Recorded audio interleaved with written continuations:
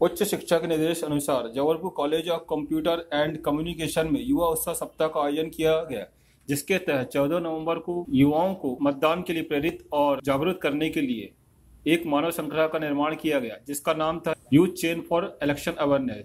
प्राचार्य संजय शुक्ला सर के निर्देश में बनने वाली इस मानव श्रृंखला में सभी विद्यार्थियों ने उत्साहित होकर भागीदारी की।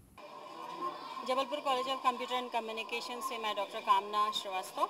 हायर एजुकेशन की तरफ़ से मतदान की जागरूकता हेतु यहाँ पर जो आयोजन किया जा रहा है निर्देशों के अनुसार हायर एजुकेशन के निर्देश के अनुसार, आज मानव श्रृंखला का निर्माण किया गया है।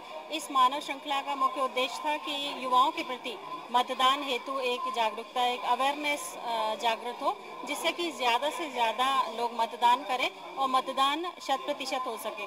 इस मतदान की जागरूकता का जो आयोजन है, वो 28 नवंबर को होने वाली मध्य प्रदेश में विधानसभा चुनाव के लिए सारा आयोजन किया जा रहा है।